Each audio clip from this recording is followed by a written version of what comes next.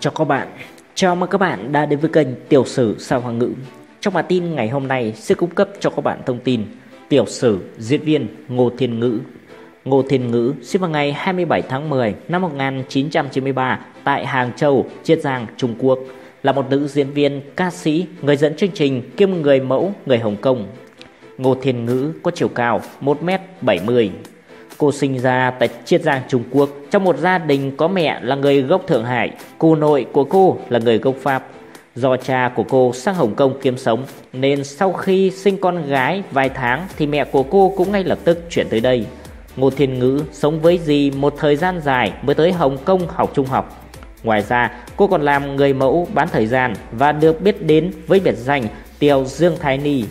Năm 2010, khi 17 tuổi, Ngô Thiên Nghĩ Ngữ được công ty điện ảnh Thiên Mã mời ký hợp đồng chính thức trở thành diễn viên và bắt đầu sự nghiệp diễn xuất với vai nữ chính trong bộ phim điện ảnh Khai Tâm Ma Pháp cùng với Ngô Tôn.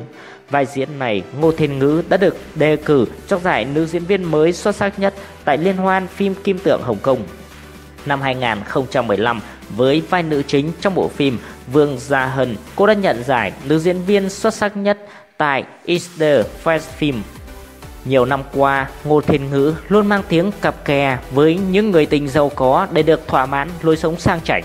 Cô đã khẳng định mình không phải là người ham vật chất mà bị thu hút bởi những người đàn ông thông minh và ưa nhìn.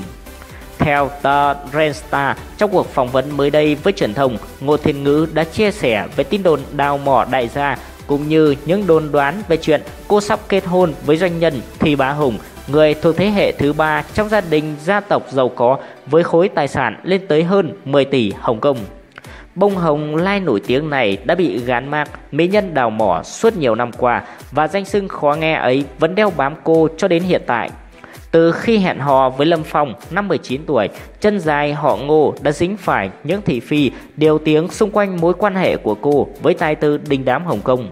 Cô được cho là đòi người yêu thường xuyên phải đưa mình đi du lịch nước ngoài, sắm sửa những món đồ hiệu đắt đỏ, dùng bữa ở những nhà hàng đẳng cấp, đồng thời đáp ứng những yêu cầu vật chất khó khăn khiến cho nam diễn viên TVB toát mồ hôi hột.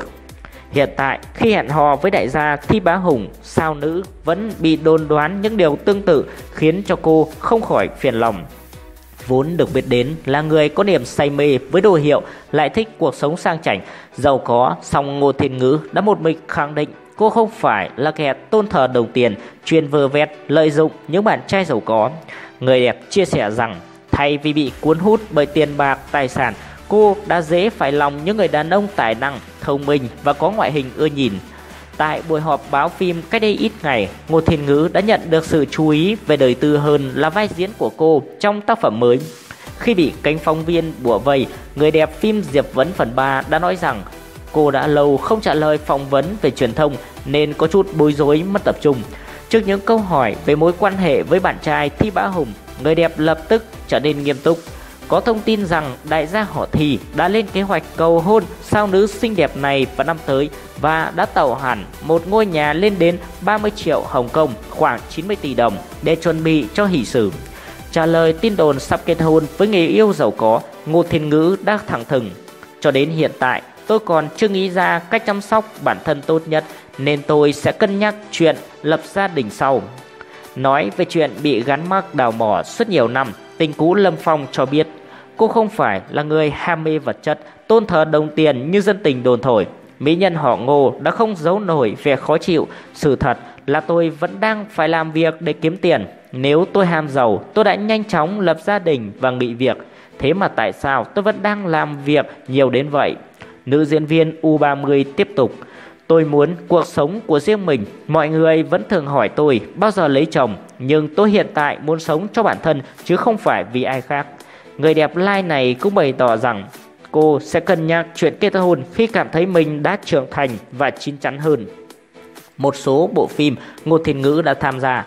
Phim điện ảnh Năm 2011 Khai tâm ma pháp trong vai Trình Mỹ Tư Năm 2012 Bát tinh Bão Hỷ trong vai Trần Tiểu Mẫn Nam nhân Như Y Phục trong vai Nhậm Nhu Thu Thủy Năm 2013 Bách tinh Tử Điếm trong vai Lăng Mộng Lộ Búp bê ma ám trong vai Tiểu Tình Năm 2014 Lục Phúc Hỷ Sử trong vai San Gian, Thành Xuân Đấu trong vai Chỉ Trình.